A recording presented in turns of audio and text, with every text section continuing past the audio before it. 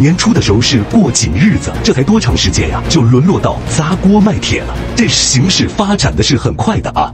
现说这件事的主要内容，能哪来的这么一件事呢？其实最近啊，一直就在说这砸锅卖铁的事儿。只不过最近呢，有一个地级市，两边呢都发了政府的文件，严格落实砸锅卖铁要求的方案。你像重庆等等，还成立了专门的工作组。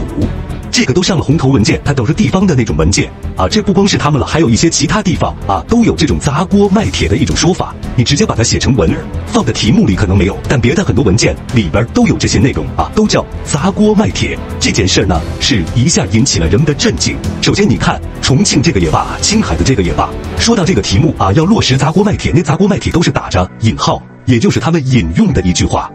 那这个引用从哪儿引用来的呢？从官僚系统里边第一次见到正式见到这个呢，是去年国务院办公室发的第四十七号文，限制十二省份的新增投资，不要再投了啊！不要再乱搞了，你们把现在的这个笑话的能给我弄完就不错了，我千万不要再乱上项目等等，是搞了这个的。那是不是引用国务院那？我这要打引号也不是，你要看这四十七号文，那是国务院的文，他也打的引号了。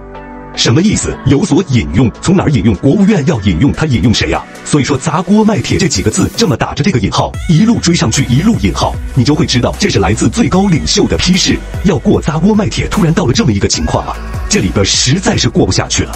地方财政现在已经都坍塌了。有最新的数据，二零二四年的六月份，地级市的土地出让就是负的啊，大规模负的已经达到了二百一十八个地级市。全国大概我印象二百七十多个啊，它有二百一十八个全是负的。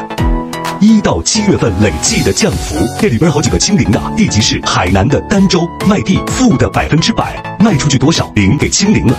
青海的玉树负的百分之百零，四川的阿坝负的百分之九十六点九。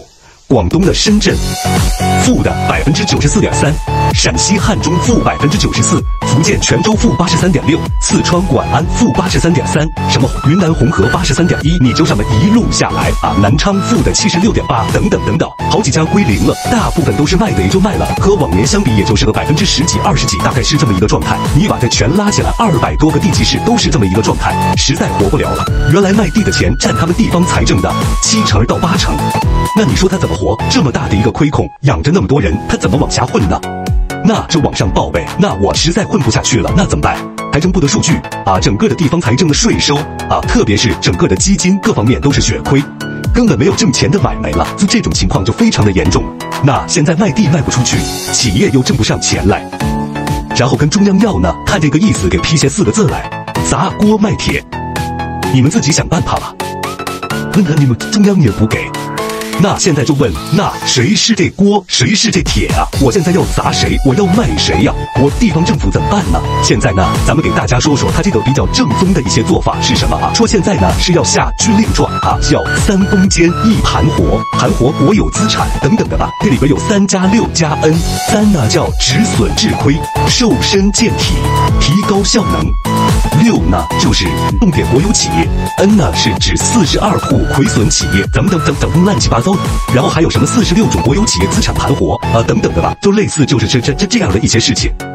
重要的是国有的三资要把它盘活，所谓的三资呢，国有资产管理、优化财政支出。你比如说，原来他们盖的县委办公大楼，嚯，在最近有一张照片，好，那办公大楼那就跪着进去，那走进去就得累吐了血。你要说卖铁是不是卖这些国有资产，这帮人可不买，这里边可没说啊。刚才说什么三资啊等等，可没说把这些房子建价处理都给卖了，好开支。到现在还没到这个程度，还没到这个程度啊。他就是把这些东西咱们想办法翻腾翻腾，手里有什么可能换钱的这些东西，咱们想点办法。主要还都是让泰康做工作。问题是你现在手里的这些企业，就是政府的这些企业。我们也都知道他也不挣钱，你要怎么着他也不挣钱，你确实能瘦瘦身啊，把一些合同工给裁了。当然他们的既得利益阶层他是肯定不会动的，也就是把这些东西呢能够省点钱儿，解解支。您说哪开源去啊？他这玩意儿砸锅卖铁自己能开源吗？这四个字是给他们一种咬牙切齿的决心，不是说现在他们这理解还都在自己的国有资产上，在自己的内部在想办法，他们都理解的都不对。砸锅卖铁，这铁谁是锅？整个你管的这事，整个这锅全是，怎么能填上那个亏空？在那儿不惜砸锅卖铁，咱们当家过日子，要说到砸锅卖铁，那就是不过了，已经到了最后的地步了。整个在你这个城市或者在你所管辖的这个地面，你别老在你的国有企业什么办公楼招待所那儿打打打状，那就全来了。所谓的砸锅卖铁，那就是不计一切手段。你们给我去脸，你们自己想办法。等于这砸锅卖铁这四个字，实际上就是一声发令枪，这帮人马上就会转过这弯来。你看那个重庆的那个区，他最后他搞了一个什么砸锅卖铁办公室，你看他下边那个他他们的弄的那几条都不上路啊，都不上路，马上就开始了。说到罚款，那肯定是主要的一项啊。我给大家说一个数字啊，这我是从一个市里边查到的一个数字。辽宁吧，盘锦去年罚了十三亿人民币，和盘锦的老百姓每个人平均超过一千。你就说盘锦这边厉害不厉害？占整个税收收入的百分之十三，老百姓一个人人均一千块钱，当然不一定罚本地的老百姓了，凡是在这过路的，那不国道上或者怎么着，到处那都是涨钱的地方，那都到处罚款去。所以说现在呢，就用砸锅卖铁的决心和勇气去填补窟窿。评价几句呢？从当初的过紧日子到现在砸锅卖铁，只能说明现在情况越来越严重。地方财政现在已经到了揭不开锅的地步了，现在已经到了这么个程度了。